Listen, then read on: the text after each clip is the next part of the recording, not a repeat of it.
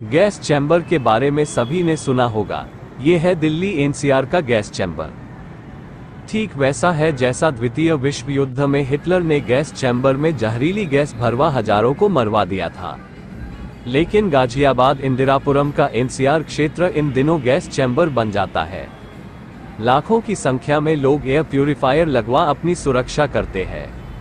सरकार भी वही घिसे पिटे डायलॉग बोल हाथ झाड़ लेती है। यहाँ के जिम्मेदार सिर्फ़ वोट लेने आते होंगे। इलाके के एमपी बेचार पे इतने विजी है कि उन्हें कहा फुर्सत जो इस पर सरकार को कार्यवाही के लिए बाध्य करे।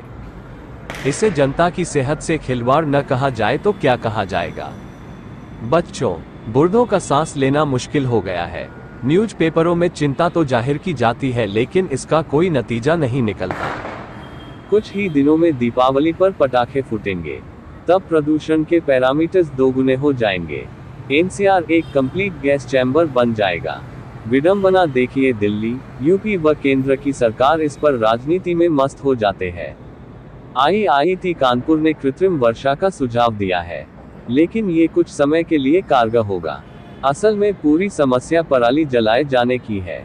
पंजाब हरियाणा सरकारें यदि कोई कार्यवाही नहीं करती है तो दोनों को बर्खास्त कर आरोपियों पर सख्त कार्यवाही की जानी चाहिए।